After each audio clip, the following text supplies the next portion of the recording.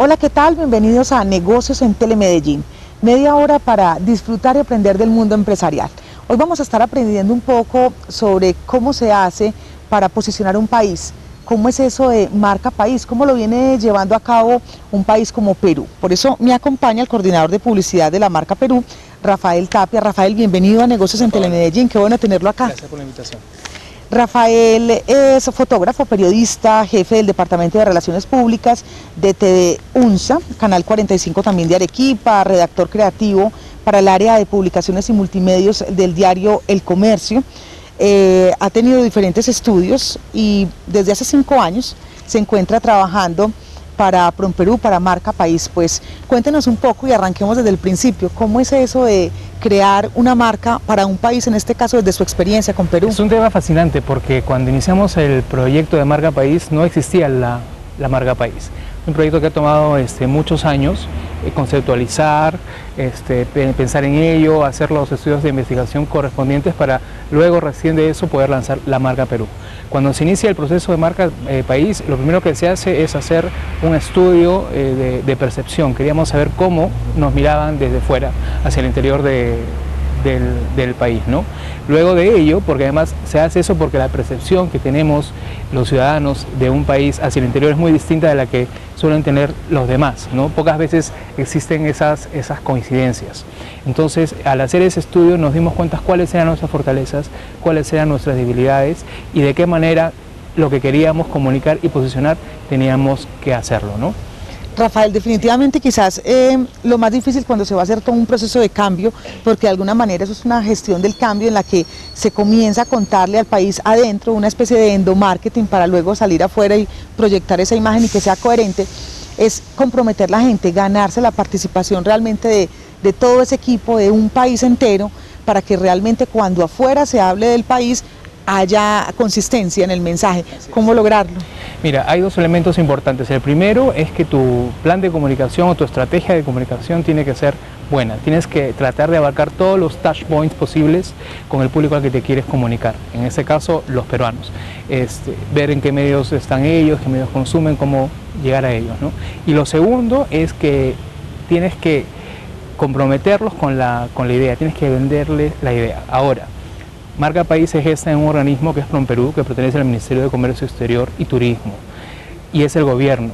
Pero el mensaje que teníamos que dar a los peruanos no podía ni debía sentirse como un mensaje del gobierno, sino ellos tenían que sentir que no era, no era el gobierno el que hablaba, sino era la marca quien, quien Haciendo un paralelo con Colombia, estamos hablando como si, si fuera eh, Perú, como si a las, veces de ProExport aquí, que hace parte del gobierno y que se encarga de digamos, de, dinamizar esa economía del país, de conocer esos sectores y, de llevar la imagen del país. Pero ¿por qué eh, tratar de comunicarlo que no fuera oficial, que no fuera del gobierno como tal? ¿Qué pretendían? Pretendíamos justamente lograr el éxito y lograr la adhesión de ellos, ¿no?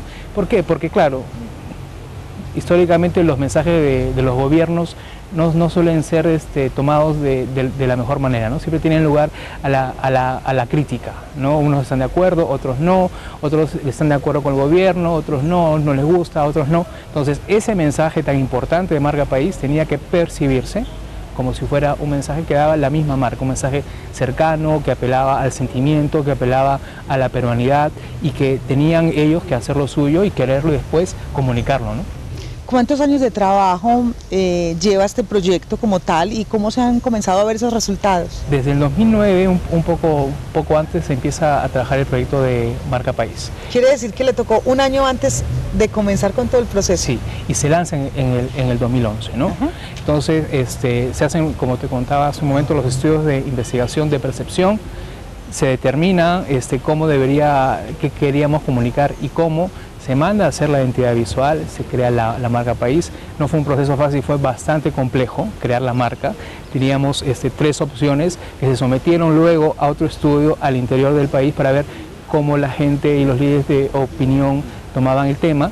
Y justamente ahí quiero tocar un, un punto importante. No solamente es comprometer a la población, es comprometer a las personas que la población de alguna manera, de alguna manera sigue o de alguna manera respeta, ¿no? Los legitimadores, los legitimadores. de los Entonces hay que involucrarlos. Claro. Entonces la estrategia fue ¿Qué tipo de legitimadores utilizaron? Porque uno puede decir, bueno, busquemos eh, personas que sean importantes para la economía del país o busquemos eh, líderes políticos, eh, busquemos quizás desde el punto de vista de la educación. ¿Cómo comienzan ustedes a mapear a esos líderes y a definir que la estrategia se iba a llevar con ellos? En la primera parte del proceso de la creación se eligen técnicos, especialistas en marketing, en publicidad, periodistas de, renombre, sociólogos, influyentes en el país. Y ya la segunda parte, que es la parte de la comunicación, que es ya la este, campaña de publicidad, se eligen a los embajadores de la marca país. ¿Quiénes son los embajadores? Artistas, este, cantantes, deportistas destacados, eh, que de alguna manera los peruanos tenían como referentes y que habían logrado además hacer cosas importantes en el exterior. Entonces, ese apalancamiento, ese aprovechamiento de, esos atributos de estas personas es lo que nos sirvió para de alguna manera también que, el mensaje llegue como, como nosotros deseábamos. Rafael, siempre hay riesgos cuando uno toma decisiones y en este caso mucho más cuando se está hablando de, de marketing y cuando estamos ligando la marca de un país a personas que como seres humanos pueden tener una serie de comportamientos que luego afecten nuestra propia marca.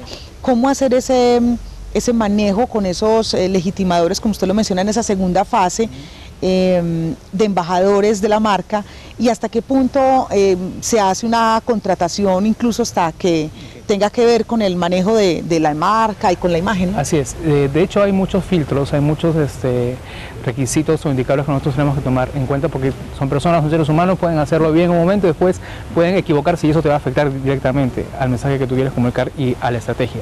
Pero de alguna manera tratamos de, cubrir todos los imponderables, ¿no? filtrando, viendo cuál era su performance, qué habían hecho fuera, cómo era su comportamiento, tratando un poco de... Este, oler, un olfato, o qué podría suceder en el futuro, si esa persona podría hacer algo bueno o malo que beneficie o no a la marca, ¿no? Y lo, más importante es que al final tienes gente comprometida, se hacen unos convenios, por supuesto, son unos convenios libres en los que ellos legalmente no están comprometidos absolutamente a más que tratar de difundir el tema en toda oportunidad que exista, ¿no? Soy un convenio que, se firma con, con ellos. Entonces, digamos que se cubre, pero tampoco es infalible ya nos ha pasado, que ha sucedido además, que alguno de ellos ha tenido algún traspié, ¿no? Pero es un tema que hay que tomar con pinzas, pero ayuda muchísimo. O sea, si tú me dijeras, o lo dejo porque tengo un riesgo, o lo tomo porque me va a aportar, prefiero tomarlo, ¿no? Y correr el riesgo y sacarle el mejor provecho posible. Rafael, cuando hablamos de vender una marca de un país, uno está buscando definitivamente sus diferenciadores. Eh, y si uno se va un poquito como a esos orígenes del mercadeo y habla de las 4P de Kotler. En Colombia, por ejemplo, hablamos de que el riesgo es que te quieras quedar.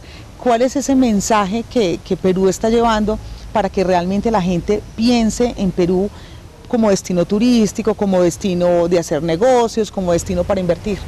Mira, es un tema coyuntural, porque en el momento que se lanza la marca país, ya al Perú le iba bastante mejor en cuestión de economía, habíamos este, combatido el terrorismo eficazmente, entonces habían ciertos eh, aspectos que nos iban a ayudar a que el lanzamiento sea exitoso. ¿no? Pero cuando hacemos este estudio, nos damos cuenta que los atributos que más resaltaban eran Perú en un país polifacético, ¿sí? tenía muchas caras, muchas aristas.